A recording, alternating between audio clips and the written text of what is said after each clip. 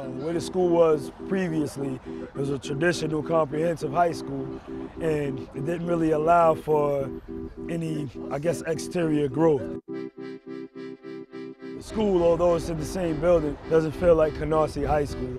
So I don't feel like I'm at Canarsie teaching, I feel like I'm at I am. I tell the kids all the time, like they're lucky.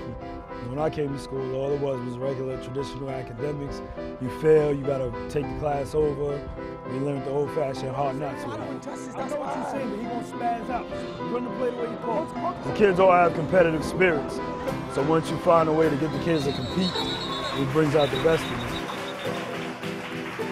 Create separated survey which asks the question, which media device do they use the most? Natives wanted to develop a tagline that makes our target ask themselves a question and answer it with action. Like we have teachers that are really passionate about what they do, and they're trying to find any way possible to bridge the gaps that some of these kids may have. Or so we can take math, for instance, and turn something mathematic into some sort of advertising campaign that the kids get passionate and competitive about. I want a project to be as best as it can be.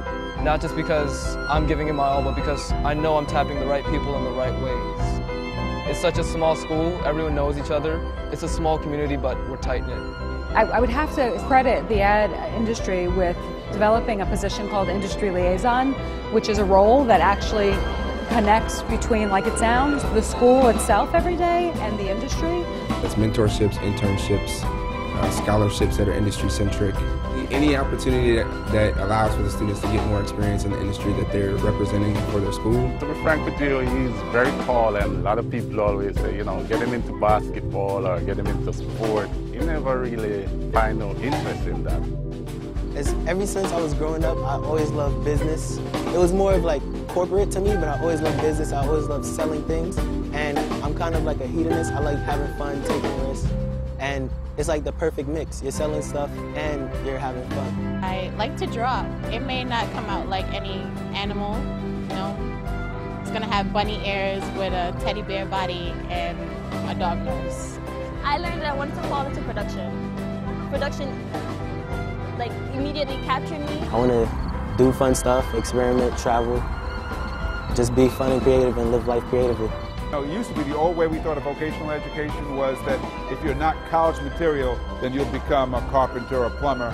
And now I think there's a, a, a more complex view. It says, look, everybody's going to have to work eventually.